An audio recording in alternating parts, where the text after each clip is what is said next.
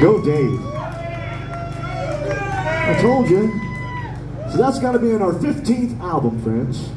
Uh, the Element of Danger coming up soon.